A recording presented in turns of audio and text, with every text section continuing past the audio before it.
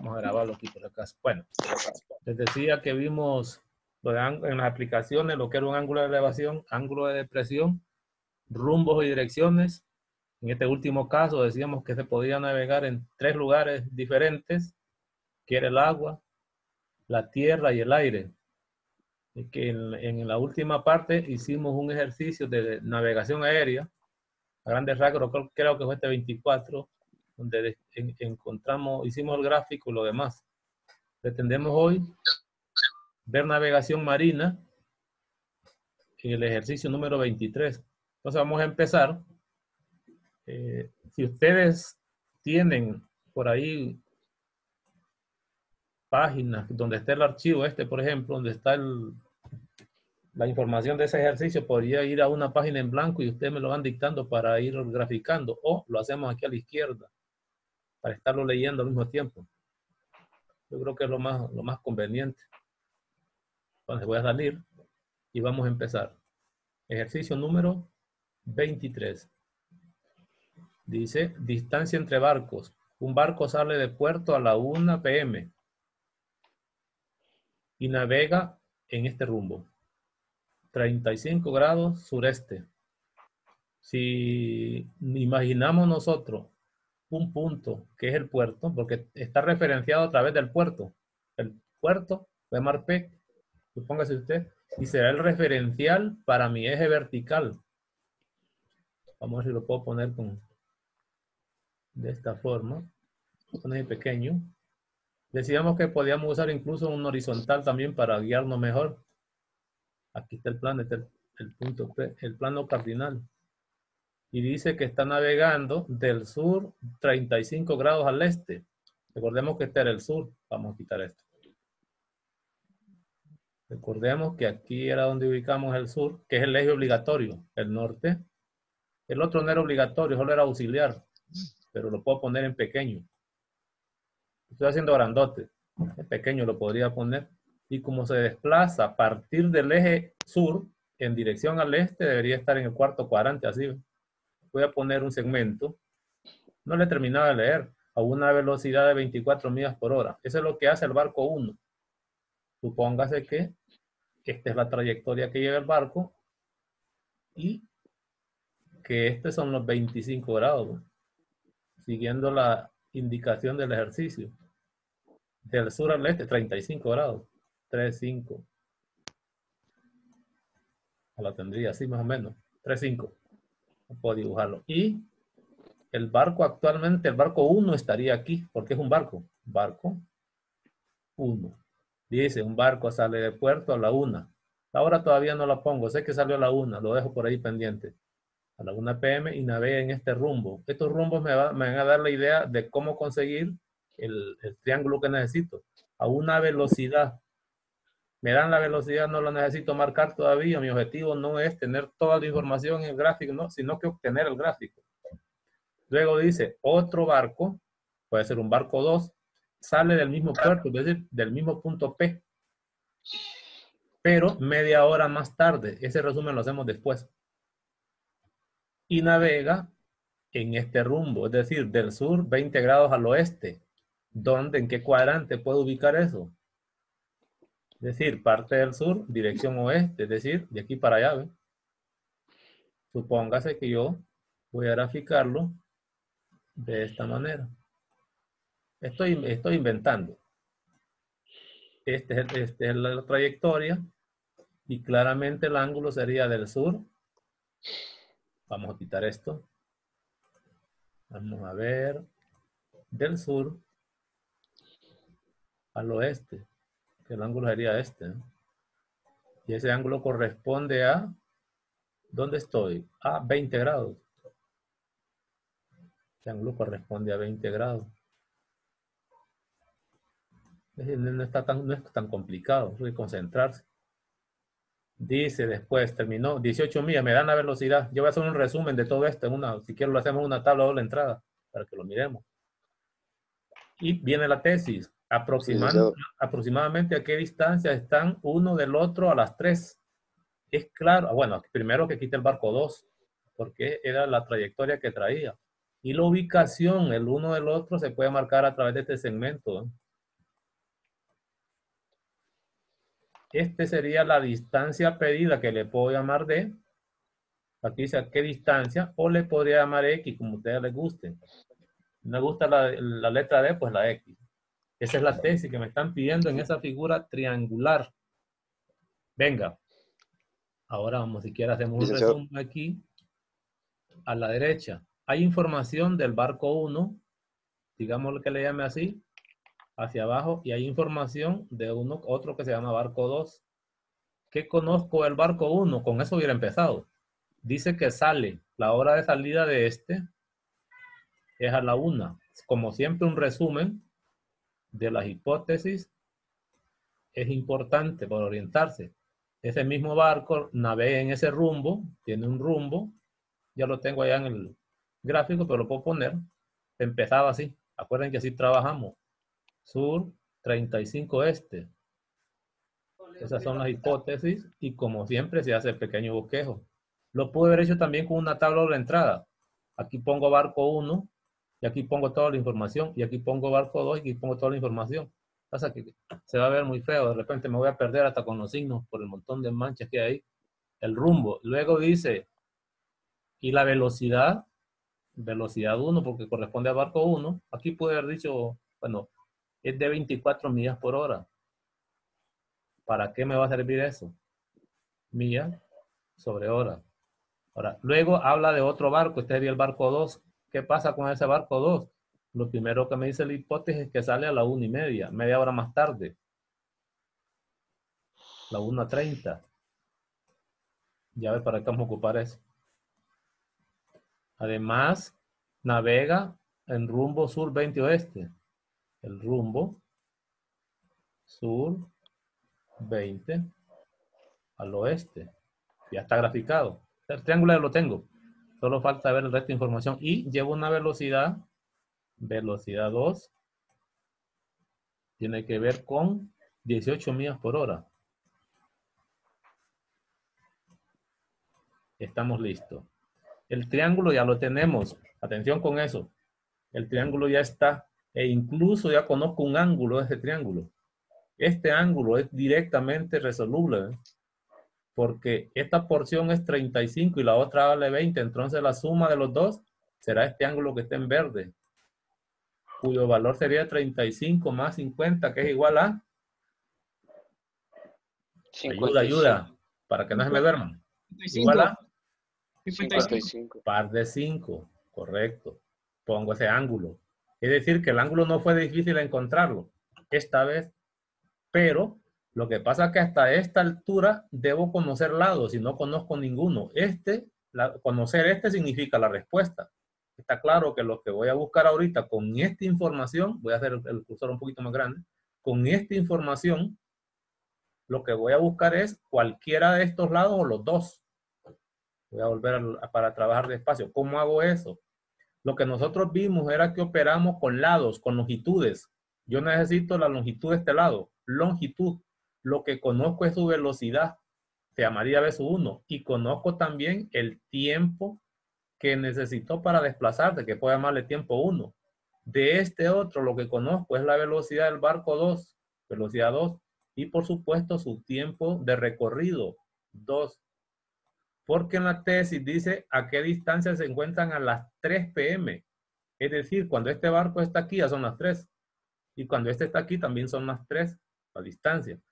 Entonces, ¿para qué me sirve esa velocidad y ese tiempo? Ah, bueno, me va a servir para calcular la distancia recorrida por el barco 1. Eso no me la dan. Me toca calcularla. Porque lo que hay aquí es velocidad. Y recuerde que nosotros trabajamos todo lo que es ley de seno, ley de coseno con longitud de lado. Son segmentos y son distancias. Y esta, ninguna de ellas es distancia. Y aquí me va a tocar calcular la distancia número 2 del barco 2. ¿Estamos? Para ello, debo recordar la fórmula de física, por lo menos una. Yo no sé de cuál se acuerdan. Si no se acuerdan de ninguna, vengan al ejercicio. En la hipótesis hay información. Me está diciendo que uno de ellos se desplaza a una velocidad de 20 millas por hora. Entonces quiere decir que la velocidad... Distancia por tiempo. Distancia arriba y tiempo abajo, correcto. Distancia, que son las fórmulas de física elemental sobre tiempo, que se escribía así Con esta yo puedo despejar cualquiera de las letras. Particularmente la que me interesa es la distancia. Y claramente para conocer esta distancia necesito el tiempo y la velocidad, que es lo que tengo aquí. Voy a escribir entonces, distancia es igual a velocidad por tiempo. Ahora sí, con eso debería calcular. Aquí lo debería hacer, pero está un poco pequeño allá. Voy a recordar que voy a calcular la distancia recorrida por el barco 1. Para eso necesito la velocidad 1 que ya viene dada. Aquí está, que es 24 millas por hora. 24 millas y lo puedo poner así, que es lo mismo, sobre hora. Eso sería la velocidad, pero faltaría el tiempo. El tiempo no viene dado de manera explícita aquí. Me toca calcularlo. Solo me dicen que sale a la una. Pero si el barco ha salido a la una y lo que estoy analizando ahorita es a las 3 de la tarde, ¿cuánto tiempo transcurre de la una hasta las 3? Claramente eso serían Dos horas. dos horas. Entonces me sirve. ¿Qué tal si me dijeran que son 20 minutos? Me tocaría transformar esta a, las, a la una misma unidad. Aquí como está en horas, puedo tacharlas. Atención con esto. Podría ser que la velocidad me la den en millas por hora y a la hora que me digan el tiempo solo sean 45 minutos. No puedo poner minutos aquí y horas abajo. Tengo que convertirlo o todo a horas o todo a minutos para tacharlo. Y aquí me doy cuenta que la respuesta que voy a obtener quedaría solo en millas, que es la distancia. Y eso es 48 millas. Ya con eso tendría la distancia recorrida por el barco 1 y es la que pondría aquí, 48 millas. Con eso ya estaría dando por entendido que del barco 1 del triángulo conozco este lado. L es uno de los lados. Ya conozco un ángulo hasta este momento, siguiendo con esta misma figura sin quitarla, lo pude ver dibujado aparte como están estos triángulos también y dedicarme solo a trabajar en limpio. Eso es válido también. Lo podemos hacer aquí, creo que no nos mareamos. Entonces conozco un ángulo que era este, que ya lo tengo, y conozco un lado. Pues de la misma manera puedo hacer lo mismo con el otro. La ventaja, y aquí voy a poner, la ventaja es que el tiempo también viene dado en horas. No tengo que hacer ninguna conversión. Debe ser velocidad que me dicen aquí que es 18 millas por hora. Por eso el resumen es importante. Abajo hora. Y ahora voy a calcular cuántas horas fue el recorrido de ese barco. Recordemos que salió a la una y media. Y está analizando usted el evento a las 3 de la tarde. ¿Cuánto tiempo pasó desde la una y media hasta las 3? 1.5 horas. Sería 1.5 o 3 medios de hora. La puedo poner en decimales, aquí no hay ningún problema. 1.5H, ya lo convirtieron en hora. Pude haber dicho una hora y media, lo mismo, pero necesito que pueda mostrar por lo menos las unidades, porque si no, ¿cómo lo puedo tachar? Que quede claro. Y aquí obtengo la otra velocidad que sería 18 por 5. ¿Cuánto era? 5. No. 18 por 1.5. ¿Cuánto da? 27. 27 millas. Es decir, que ya tengo lo necesario. Ese dato lo voy a poner aquí. Este 27. Claro que la figura la haría más grande en el cuaderno. 27, por si acaso. Entonces, ¿qué tengo en el fondo? Si quiere puedo sacar, el, voy a usar este triángulo. Voy a usar este, que se parece a aquel. Tengo que este ángulo, si quitando las letras de ahí, mide 55. Voy a usar este. Además conozco que este lado mide 48 y que este otro lado mide 27 y que la tesis está aquí como D o como X. ¿Estamos? Ya tengo la figura geométrica y conozco dos lados y un ángulo, pero los lados que conozco no son cualquiera. En realidad lo conocíamos que como que eran dos lados y el ángulo entre ellos. ¿Con qué, con qué teoría o con qué concepto, con qué argumento de la trigonometría calcularía X? Es claro que esa es la ley de los cosenos, porque conozco dos lados y el ángulo entre ellos. Es la ley de coseno para hallar lado. Vamos de un solo. Voy a borrar por donde lo escribimos. Vamos a ver. Aquí lo voy a poner. Si quiero calcular x con ley de coseno, nunca olvidemos que es la raíz cuadrada de, de un solo. ¿Se acuerdan cómo se calculaba el x cuadrado sin la raíz? Decía que era, ¿alguien me ayuda? El cuadrado de uno de los lados conocidos más el cuadrado del segundo lado conocido. Es decir, el cuadrado de los lados adyacentes, la suma. Sí. Puedo quitar ese A. para poner números de un solo. Es decir, era la suma del cuadrado de los lados adyacentes con palabras, para eso eran las palabras estas. En ese caso puedo poner 27. Ese es lado adyacente que va al cuadrado. Pude haber puesto 27 nada más. Más el otro lado adyacente es 48. También va al cuadrado. ¿Y después qué? Menos el doble. El doble producto de esos mismos lados. Adyacentes. De esos mismos lados, que sería 27 por los lados adyacentes, como dice usted, 48 por... El, el coseno del ángulo opuesto al lado que buscamos. Eh, no, el coseno del ángulo entre ellos, porque recuerde que el ángulo no es opuesto, es entre ellos, u opuesto a la letra que está calculando. Sí, en, eso. ese caso, en ese caso sería 55, ¿verdad? No importa cómo lo platicas y lo entendemos bien y no me preguntan teoría, lo hago. Ahora agarro calculadora y de un solo hago esto. Si se va a enredar, cuando ponga la raíz, póngale corchete a esto, porque si no le pone corchete, solo le va a sacar raíz al primer término y el resto lo va a sumar. Es decir, como la raíz en las calculadoras no se puede extender de esa manera, sino que normalmente uno pone la raíz del símbolo y hay que indicarle quién es el argumento y para eso se usan los signos de agrupación. Entonces, a trabajar se ha dicho, vamos a ver. 39.32. 39.32 millas ponerlo así. ¿Cómo puedo, puedo, dar la respuesta? Una forma es que la respuesta, como aquí no me dan ninguna distancia, yo no conozco ninguna distancia, la puedo dejar así. O puedo poner redondeo, que es 39 cerrado, y ahí terminó el ejercicio. La clave está en interpretar el gráfico de acuerdo a lo que se llaman rumbos o direcciones. Y ahí terminaría ese ejercicio. Voy a buscar otro. Termino ahí, creo que ahí no hay, no hay mucho que preguntar. Lo que sí es importante aquí recordar que hasta hoy, para trabajar con estas longitudes, para encontrar lados en ley de senos y cosenos, necesitamos que el triángulo tenga lados. La velocidad no es lado, por eso no sé la velocidad.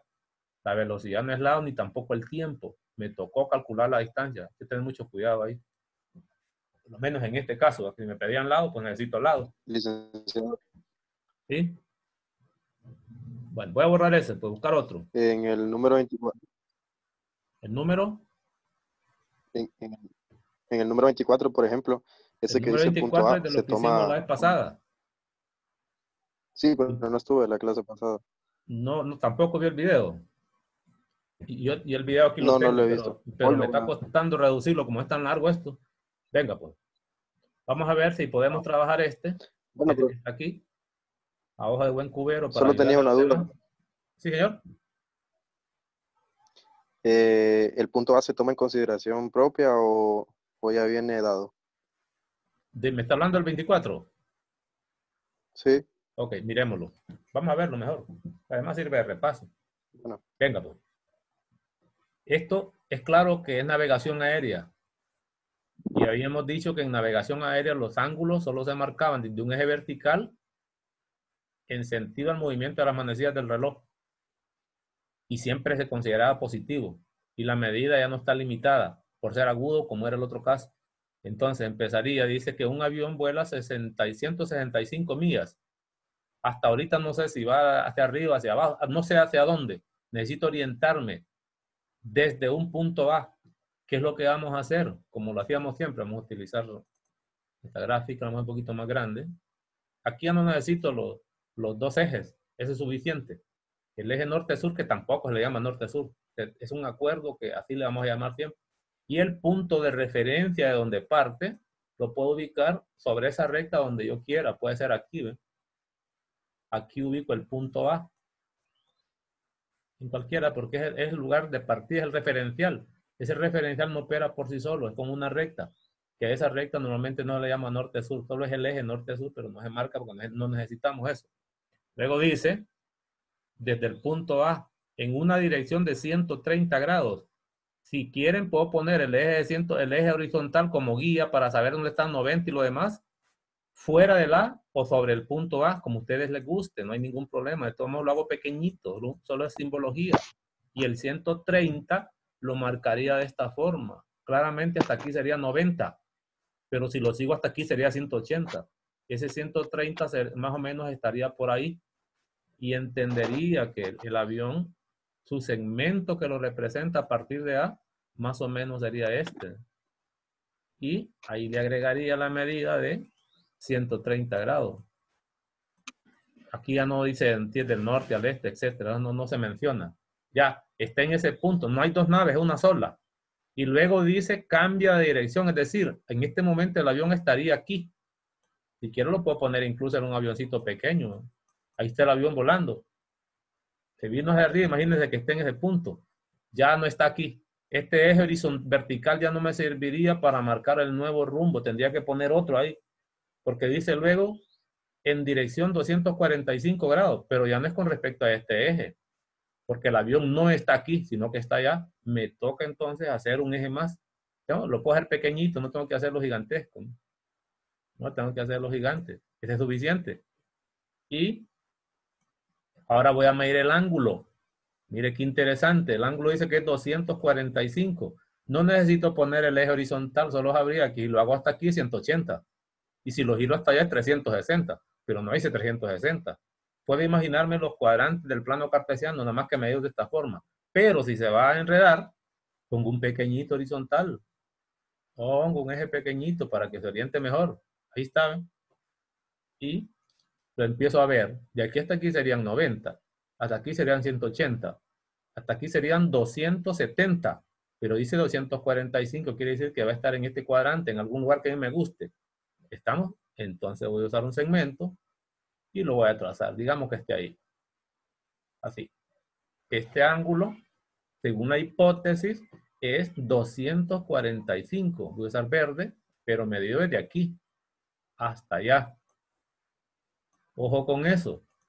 Este es 245 grados. Es decir, que es diferente la forma angular en los móviles aéreos que en el aire y en el agua. Acuérdense. Y el avión, en nuestro problema, actualmente estaría aquí. Aquí estaría el avioncito ese. Mire, volando en alguna dirección. Luego dice el ejercicio, ya terminó. Dice 80 millas. Primero voló 165 millas, que esto ya son la longitud de los lados. En este caso los lados ya me los dan. Voy a ponerlo. No he terminado con el triángulo. Pero cuando se desplazó de aquí hasta acá, puede ser negro, dice que recorrió 165 millas. Este es L. No tengo que por qué calcularlo como antes. 165 millas. Sí hay que fijarse en las unidades. No vaya a ser que esto esté en millas y este esté en kilómetros y usted lo quiere usar de un solo. Tenga cuidado. Si se trata de distancia, que sean la misma unidad. Y luego dice que en el otro recorrido, cuando cambió de rumbo, son 80. Pues este debe ser 80, millas también. ¿Qué significa eso? Que conozco dos lados. Si logro conocer este ángulo, es ley de coseno, pero no he, no he leído qué es lo que quiere. Voy a terminar de leer. Aproximadamente a qué distancia de A está el avión. Está el avión. Vamos ese micrófono. Este sería ese segmento. Si quieren le puedo llamar X o distancia, como sea. Este es lo que tengo que buscar. Y solo faltaría encontrar ese ángulo, que claramente va a ser este y sería ley de coseno. ¿Qué es lo complicado de estos ejercicios? Una vez teniendo la figura geométrica, facilito. Pues no sé, yo les dejo el ángulo a ustedes, porque este hicimos la vez pasada, cómo encontrarlo. No olviden que estos, estos ejes verticales son paralelos todos. Y este segmento en particular, este segmento que estoy proyectando aquí sería una transversal, por si lo ocupa. Nada más que está acostado a este, está vertical. Con estas son paralelas. Esta sería una transversal. Es decir, que este ángulo hasta aquí sería este hasta allá. De aquí hasta allá mide 100, 130. ¿Sí? Es decir, que si quiero usar eso. Es más, si yo sigo proyectando, como lo hacíamos la vez pasada, yo sigo proyectando, este es un eje horizontal, no lo olvide. También este es horizontal, sería un paralelo, y esta sería transversal como lo es esta. Además, si yo proyecto este eje vertical hacia arriba, aquí se formaría un triángulo rectángulo, aquí es este pequeñito, por si lo ocupa. Este triángulo es un triángulo rectángulo. Aquí 90 grados para allá. Esta sería la hipotenusa. Todo eso lo puedo utilizar e incluso puedo seguir viendo eso y formando triángulos rectángulos. No ocupo ese montón de cosas, pero lo puede usted, le puede servir. Si yo trazo un eje vertical aquí, horizontal aquí, también este sería triángulo rectángulo, este chiquito. Por si me sirviera. Aquí no necesito tanto, porque casi es directo. A calcular este ángulo no es complicado, hasta le puedo llamar teta. Ese es el ángulo que va a hallar y al, afuera puede mostrar cómo lo calculó, porque hay que hacerlo. Sería como 130 menos 65. Ya sabe que de aquí hasta acá es 130. ¿eh? Y a ese, a este 245 le va a restar 180. Y a ese 180 le resta esto. Sí, sería 65. Ahí lo hacen ustedes. Ya con eso creo que ya estuvo. Bueno, porque quería regresarme para ver otro. ya. ya con esa gráfica creo que se puede. Voy a regresar. Quiero mostrarles algunos que vienen resueltos aquí. Para que vean ustedes que aquí se trabaja también. Viene un montón de resueltos. Eh, este particular Vamos a ver qué dice aquí un triángulo ABC dentro de Este está hecho, no, este es normal. Quiero ver uno de aplicaciones. Vamos a mover hacia arriba. Quiero moverme hacia arriba despacio para no marearlo, pero tampoco tan lento que estemos una hora aquí. Estos son problemas ordinarios. Ningún, no, no dan conflicto porque ya se tiene el triángulo. solo quiero ver algunos resueltos para que analicemos cómo los trabajan, que vean ustedes que no es complicado. Es bonito siempre. Por ejemplo, este. Miremos este. El problema se plantea así. Viene con gráfico. Un bote pesquero. Mercante usa un equipo de sonar para detectar un banco de peces a dos millas al este del bote. El bote está aquí. No olviden que los ejes son, en este caso, cuando están hablando de este-oeste, están hablando de la, de la navegación marina o terrestre, donde este era el norte, donde esto era el norte, esto el sur, de esta forma el este y el oeste. Esto no es aéreo. Si el bote está aquí, yo puedo trazar mis ejes intuitivamente. De repente estoy aquí, yo trazo mi eje de esta forma. Entonces, si este es el punto referencial con el bote, aquí estaría el este. Vamos a ver, aquí estaría el este. Y si el bote está navegando en este punto, en este momento, en este punto, pues ahí está el este. Es lo que están mencionando aquí. Lo que pasa es que están ya tomando las dimensiones terrestres. Estamos hablando de un plano, el plano del mar. Es decir, que algo más o menos así, ¿ve? Nomás que está acostado. Si lo ve con perspectiva, sería más o menos parecido a esto, como un mantel ahí lo están viendo ahí. ¿Estamos? No, no aparentan muchas cosas aquí si lo ve de manera directa, pero si lo hacemos afuera del, dibujo o de la imagen, creo que funcionaría perfectamente, pero vamos a comparar. Venga, digamos pues. Eh, a dos millas, pues aquí está la distancia, dan pues. Bonitos ejercicios. Dos millas al este del bote y que se desplace en dirección 51 grados del norte al oeste. 51 grados lo marcan aquí. ¿Qué quiere decir? Para que eso sea cierto, atención con esto, este debería ser el 51 en esa figura. Se miraría así. ¿De qué estoy hablando? 51 grados. 51 grados del norte en dirección oeste. Quiere decir que aquí debería haber un plano. No olviden que este ángulo debe ser 90. Por lo tanto, se interpreta que este es 90. Lo pasa que está inclinado. Sería más o menos así, ¿ven? Aquí está el este, y aquí se está desplazando. Aquí tendría el ángulo que corresponde a 51 grados. Ojo con la perspectiva, porque el dibujo nos está ayudando, pero cuidado, porque tiene perspectiva ya. Este ángulo debe ser recto, si no, no sería del norte 51 al oeste. Entonces, con este que acabo de, ahora dibujar aquí, debería ser perpendicular, si no, no tiene sentido este ángulo. Lo que pasa es que está como acostado así, ¿ve? Y usted lo está viendo de esa manera. Sería el ángulo de 51. Ojo con eso. Digo, a razón de 8 millas por hora. Hora, eso es velocidad. Distancia sobre tiempo. Esas millas no se las están dando aquí, sencillamente sabe que el, banco de peces, porque están hablando, o es el bote. Mire, un bote pesquero mercante utiliza un equipo de sonar para detectar un banco de peces. Se está hablando de los peces. Va a dos millas del bote y que se desplaza en una dirección. Ese es el banco de peces. Además, la velocidad no es del bote, es del banco de peces porque es lo último que se mencionó en la hipótesis. Todo esto que ocurre aquí con el banco de peces. ¿Estamos bien? Entonces ya tendría más o menos el gráfico. Ya vamos a ver cómo usar esa distancia, así que nos sirve. Un bote de pesca, este barco, pues digamos, voy a quitar esto Porque este problema viene resuelto. Es una ventaja que viene resuelto para que aprendamos de él. Viene la primera tesis. Si el bote navega a 20 millas, es decir, le están dando la velocidad, le están dando la velocidad de navegación de este. Esta es la velocidad del bote.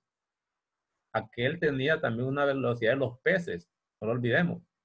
Había una velocidad. Si el bote navega a 20 millas por hora, velocidad, calcule a un, al, al, grado, a las décimas de grado más cercano, la dirección que debe, la dirección a la que debe dirigirse para intersectar los peces, es decir, para que vayan a encontrarse por allá. Aquí se van a intersectar en ese punto. Claramente ahí donde se forma el triángulo. Segmento del barco al contacto de intersección, segmento del bote al banco de peces y segmento del banco de peces al punto de contacto. Eso es lo que le están pidiendo con estas condiciones. Y una pregunta adicional, encuentre al minuto más cercano, este es tiempo. Encuentre al minuto más cercano el tiempo que tardará el bote en llegar a los peces. Es decir, el tiempo que va, necesita para llegar hasta allá. ¿En cuánto tiempo van a encontrarse los peces con el bote? Buena pregunta, son las, las tesis que hay. Vamos a verlo hacia abajo, cómo lo resuelven, qué es lo que dice. Y vamos imaginándolo ahí. Listo. Empieza por aquí. Ellos hacen directamente el triángulo. Recordemos que, voy a bajarlo aquí, se mira, que esta longitud este segmento era 2. Eso está aquí. Los colores. Porque es peligroso que esté hecho y no se le entienda. Este 2 es este doble. Luego, no olvidemos que aquí, para hablar de norte, que eran los grados que les mencionaba a ustedes, este era 39 o 51, creo que era más bien este 51 grados, pero y era del norte al oeste, algo así era. Es lo que les decía, que no se miraba la perpendicularidad, pero hay. Quiere decir que este ángulo, según los ejes que conocemos, este debe ser recto, porque es la posición de los ejes. Y para encontrar ese ángulo, eso lo debería restar 90 menos 51, que me da 39, que es lo que ellos hacen aquí. Le ponen nombre al ángulo, le llaman alfa, ponen A, ponen B, ponen C, pero no ocupo poner eso sencillamente lo manejo, lo controlo con, con las hipótesis nada más. Ello es para seguir utilizando la notación de ángulo cualquiera. Ya tengo entonces este ángulo de aquí. Tengo un lado, que es lo que tengo hasta ahorita, un ángulo y un lado. Con eso no se puede aplicar absolutamente nada todavía de manera directa, excepto que no hemos utilizado algunas hipótesis de ahí. Me hablan de velocidad del bote y me hablaban de velocidad de los peces. Aquí había velocidad de los peces y aquí había velocidad de bote. No lo olviden. Y esas hipótesis vienen para que se usen. Entonces, ¿cómo hacerlo? Necesito más información. Si logro conocer un, un ángulo más, pues tengo, tengo alguna ventaja por ahí. O puedo conocer lados. Miren cómo lo resuelven ellos. Para eso traemos este ejercicio que no es cualquiera. Bonito. Lo vamos a hacer hacia abajo. Conociendo ese, eso. Dice, el problema está ilustrado en el triángulo de la figura 12, que es este con el banco de peces en el punto A. Ok, vamos. El bote en el punto B, lo que mencionaba. Y el punto de intersección, el punto C. Están ilustrándolo por completo. Siempre, esas orientaciones siempre las puedo tomar e identificarlas con toda precisión. Luego dice, note que el ángulo alfa, que es el correspondiente a A, es 90 menos 51, por lo que ya les mencionaba. Para obtener beta, mire lo que hacen aquí, esto es clave. Es por eso escogimos este ejercicio para verlo. Para obtener beta, es decir, este ángulo de aquí, que es lo que van a hacer. Mire qué interesante, lo que van a obtener es un ángulo más y tendría ángulo, ángulo, lado. Y ya con eso puede ser la ley de los senos. O es la ley de los senos, dos ángulos y un lado. Ah, ya estuvo. El problema es cómo obtener ese ángulo. Dice, para obtener beta empezamos como sigue. Es decir, aplicamos la teoría de la ley de seno para calcular, calcular ángulos. ¿Cómo era eso? ¿Cómo es beta que quiero? Seno de beta sobre B. Y ahora busquemos hipótesis, porque conozco es alfa. Entonces sería seno de 39 eh, sobre A. Esta es la, la, ecuación. Lo que pasa es que tendría dos variables. Y así como está no me serviría. Las letras son dos. Mire cómo qué bonito el ejercicio. Y aquí dicen, de aquí se puede despejar el seno de beta. ¿Quién es el seno de beta? Pues el seno de beta sería B sobre A que no se conoce ninguno de ellos por el seno de 39. Mire qué elegante este ejercicio.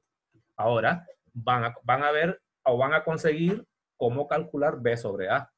Dice, a continuación hallamos B sobre A, las dos variables de un solo, dice.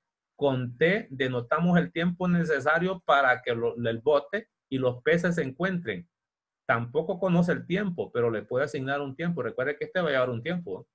Para llegar hasta allá, debe recorrer un tiempo. Le están llamando T. Y para esto también le estar llamando T. Debe haber un tiempo de recorrido para intersectar en ese punto. Mire qué interesante. Luego dice, diríamos, ¿y qué cosa es esto? Que A es 20 veces T. ¿Quién es A? A es una distancia. Y la distancia es velocidad por tiempo. Mire, ¿a quién sería la distancia del bote al punto de contacto? A, distancia del bote al punto de intersección. Y B, distancia del, banco de peces al punto de intersección. Esto es la velocidad que lleva el bote que aquí decían las hipótesis arriba. Este bote llevaba una velocidad de 20 millas por hora por el tiempo. Es decir, dejan el tiempo como variable, no necesitan eliminarlo. Y ya saben quién es la distancia recorrida por A utilizando esta fórmula. Lo mismito hacen por B. Esta B debe ser el equivalente a distancia igual a velocidad por tiempo otra vez. Pero velocidad por tiempo de quién?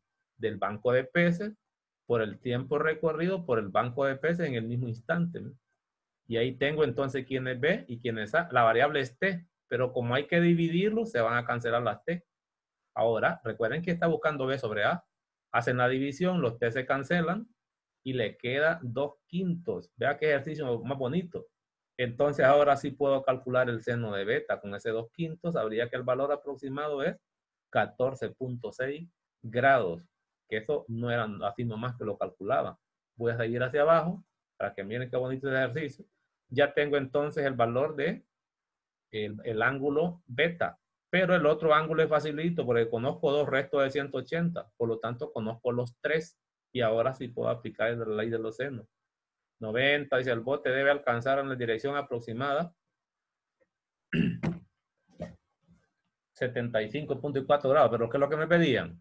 ya ni me acuerdo qué es lo que me pedían. Me pedían, ¿qué dirección dice? Ah, ¿qué dirección debe tomar? La dirección a la que debe dirigirse para intersectar los peces, la dirección del bote. Atención con este. Buena pregunta.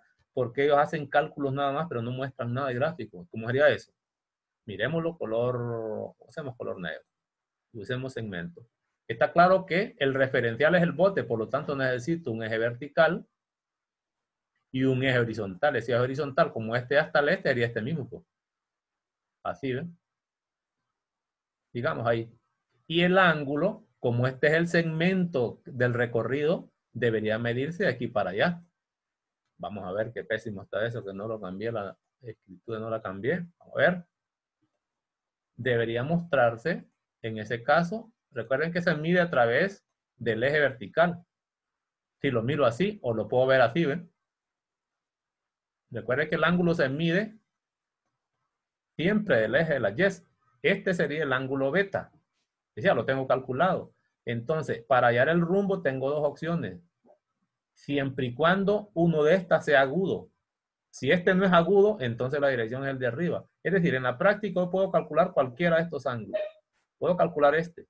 Si es que tengo información. Normalmente uno busca calcular aquel que tenga información de hipótesis. Si este fuera agudo, entonces la dirección será del, sur al este, o en este caso, ¿verdad? Si la gráfica, claro, no me muestra porque este se ve que es más de 90 grados. Este se ve que hasta aquí es 90. Este no podría ser. En realidad el ángulo que usted busca puede ser este. Si quiere le puedo llamar teta. Ese es el ángulo. ¿Por qué? Lo mediría del norte, teta grados, al este. Porque aquí estaría el eje norte, aquí estaría el eje, este sería el eje este y se ve que es agudo, no llega a ser 90. Es decir, ese ángulo es el que necesita. Pero ¿cómo lo calcula? Fácil. Para calcularlo, ya sabe que este es recto. Buscamos color verde. Ya sabe que este ángulo es ángulo recto. No hay ningún problema. Y ya conoce quién es beta.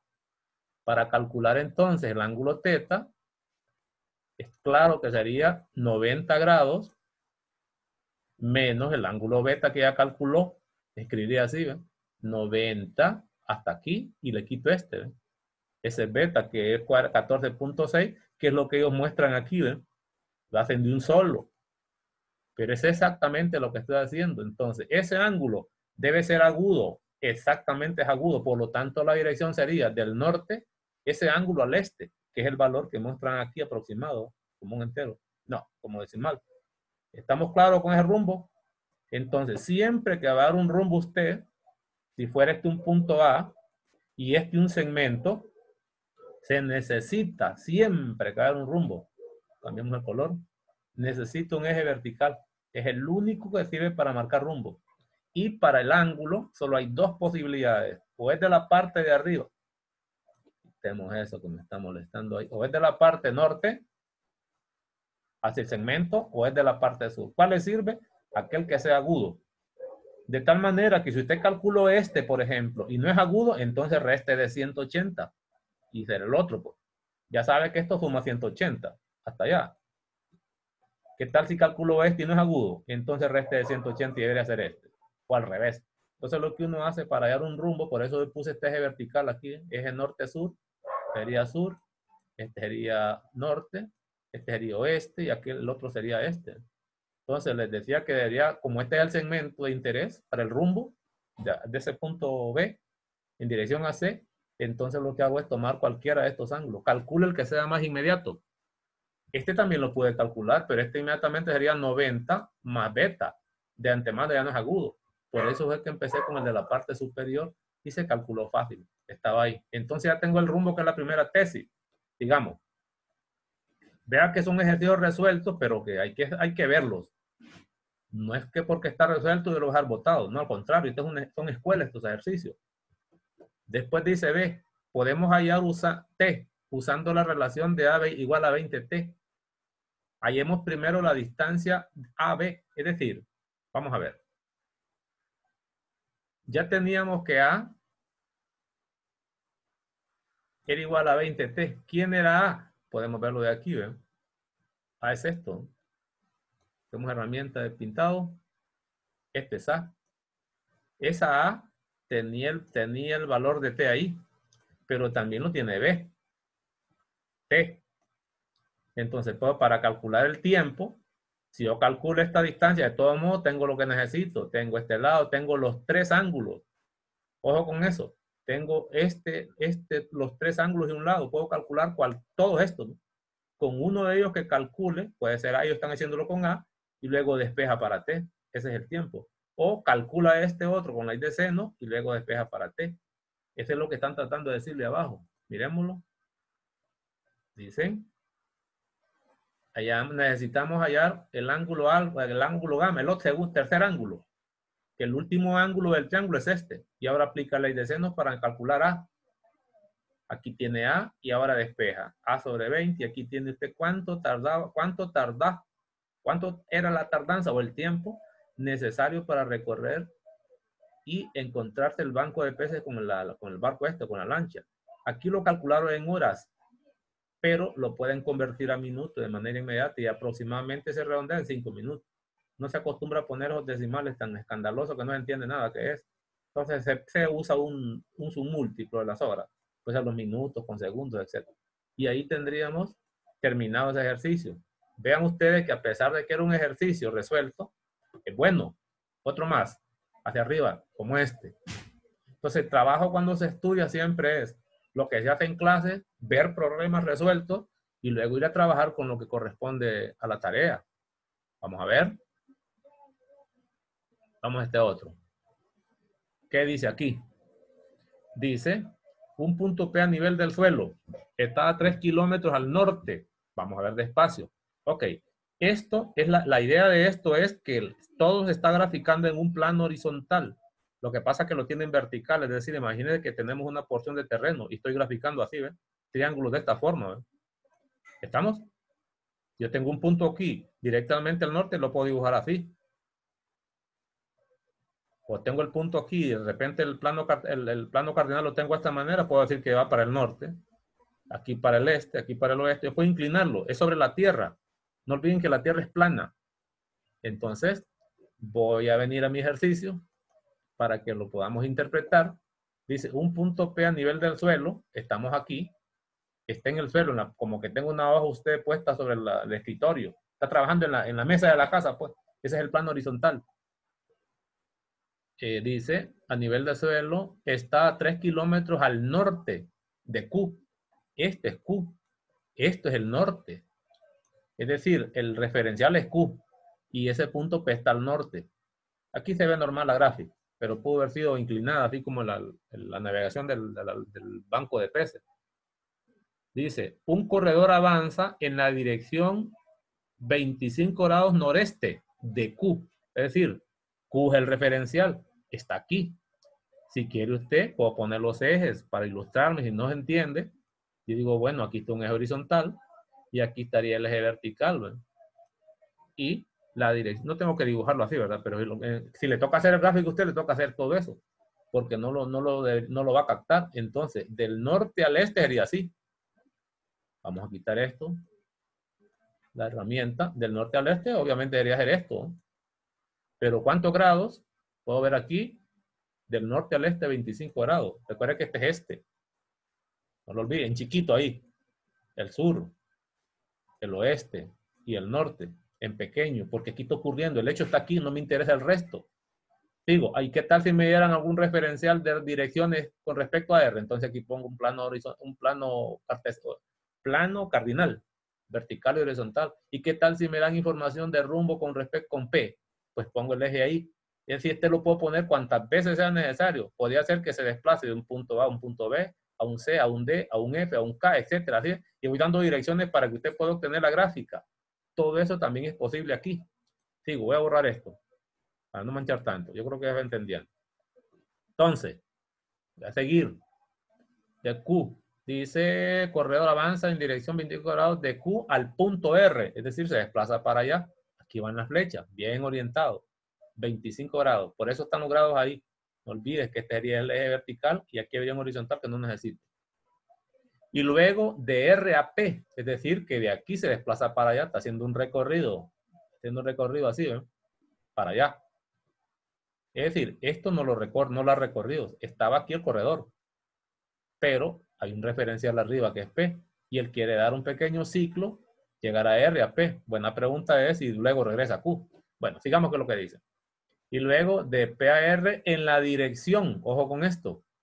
Es decir, está en R y luego se dirige a P. Pues en R entonces, lo que les decía, aquí debería aparecer otro plano. Estamos orientador. Aquí está más o menos así, ¿ven?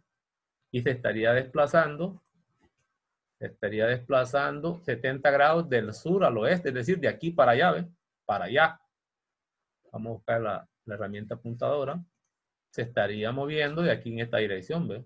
Pero eso deberían ser 70 grados, que es lo que está ahí. Es decir, que ellos no están poniendo los orientadores, las clásicas formas de poner el plano, sino que una sola vez ponen los ángulos, pero claro, llegar a esta figura, por supuesto que le va a tocar hacer esas cositas. Por lo general estos se ponen pequeñitos. Venga, 70 grados, 3 y 49, si bien. Calcule la distancia recorrida ¿Estamos? ¿Qué quiere decir? Otra vez, ¿cuál es la distancia recorrida? Aquí van las flechas. Aquí estaba, llegó a R y terminó en P. Nunca regresó a Q. Es decir, que esta como distancia no le interesa. ¿Estamos? Esta no le interesa. Lo que va a hacer es calcular este segmento, este segmento y por supuesto sumar. Es decir, que la distancia recorrida, distancia total, si lo quiero poner así, es claro que será la distancia de Q a P a Q a R más la distancia de R a P. Y para eso me toca calcular estos lados del triángulo. ¿Estamos? Me toca calcular. Solo conozco un lado. Ojo con eso. Conozco un ángulo interno, pero también puedo conocer este muy fácil. Pero muy fácil. Recuerden que estamos. Puedo calcular este ángulo con ustedes tranquilamente. ¿Cómo calcularía este ángulo de aquí que lo necesito? No el 70. Fácil. No olvide que esta recta, voy a ponerlo con colores y largo, porque de repente no lo están viendo y no está acostumbrado, no, lo ve uno. Está claro que este es un eje horizontal, voy a ponerlo así. Pero aquí también había otro eje horizontal para orientarme aquí. Voy a borrar este. Mire, mire, qué interesante lo que estoy haciendo aquí. Eso no lo deben perder de vista nunca. Y la herramienta de gráfica, también aquí hay un eje horizontal quiere decir que estas son paralelas. Es decir, que esta recta y esta recta de abajo son paralelas. Y esta de aquí, si la proyecto hasta allá, es una transversal, pues, de la teoría que conocemos del primer parcial. Por lo tanto, estamos, es más, podría seguir con ustedes también. Esta recta y esta recta también son paralelas, son verticales las dos, por si que no le sirve.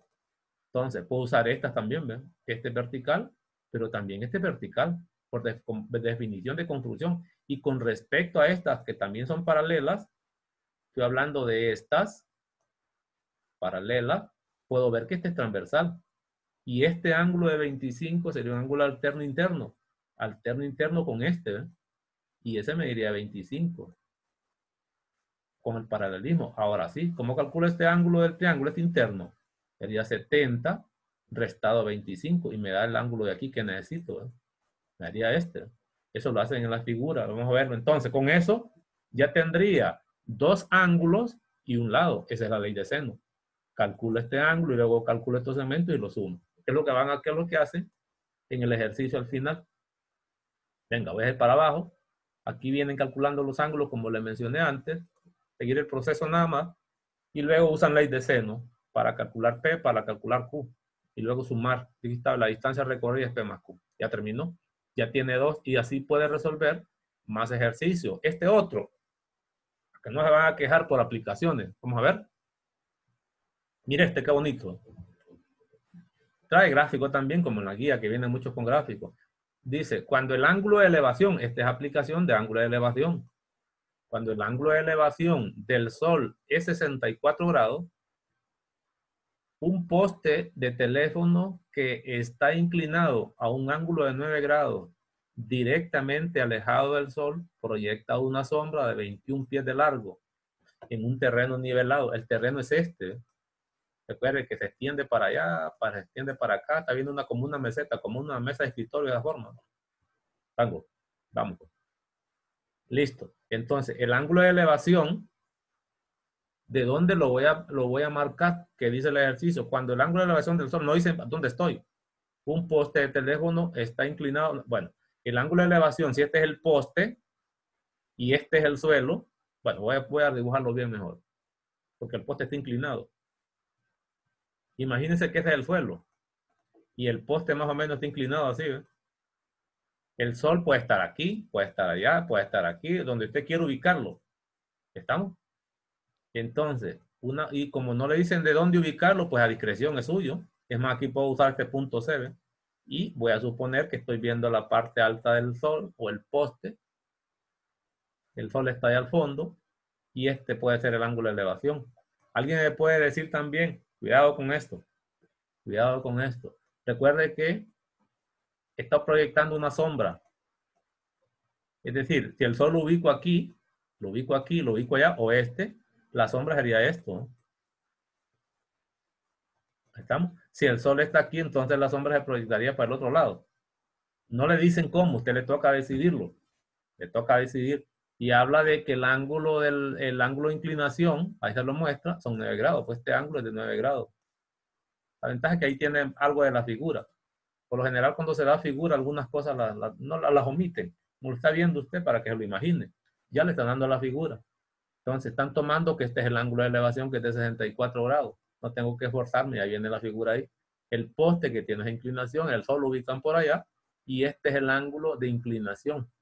Es decir, inclinación significa que de un poste para hablar de altura tiene que hablarse de perpendicularidad, pero la perpendicular no la marca el poste, la marca este segmento que está rayado ahí, no continuo, ese es perpendicular.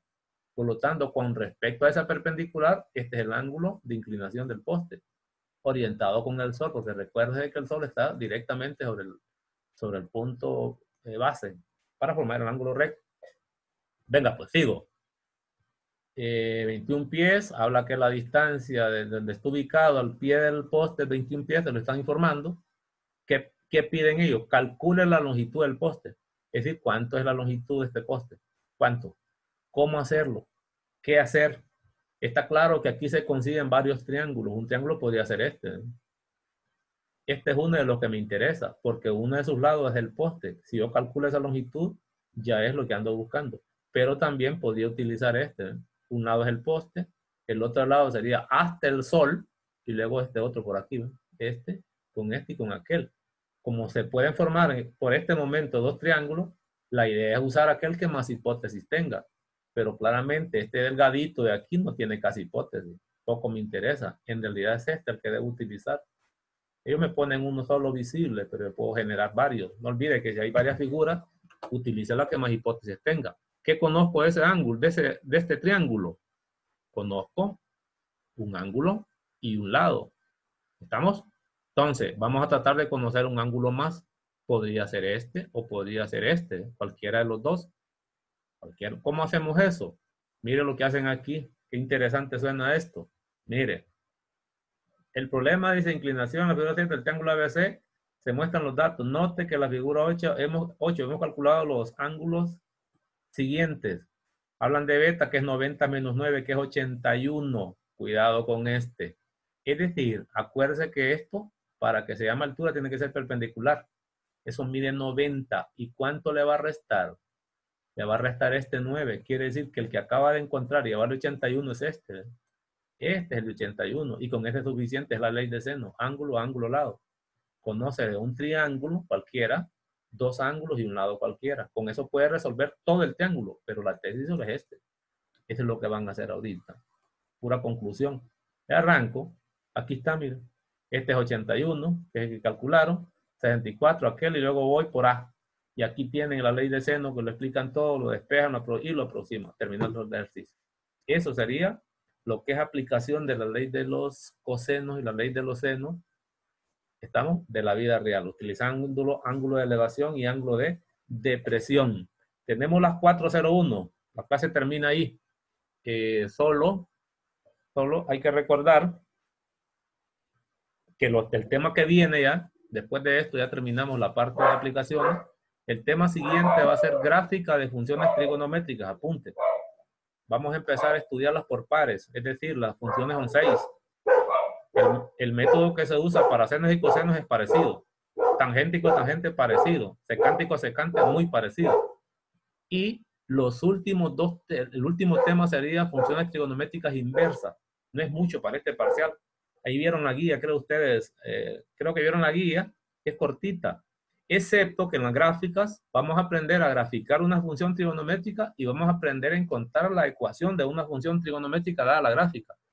Esto se parece, para que vayan ya teniendo una idea, a lo que vieron ustedes en, en 110. Alguien me preguntó de 110, ¿qué pasa si usted conoció en 110? Para hacer un paralelismo, si usted conocía que le daban la ecuación de una recta, ¿verdad que si le daban una ecuación de cualquier forma la podía graficar?